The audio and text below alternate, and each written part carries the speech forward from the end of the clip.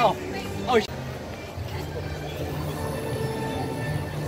Look at that, Mercedes M-Class. Indeed.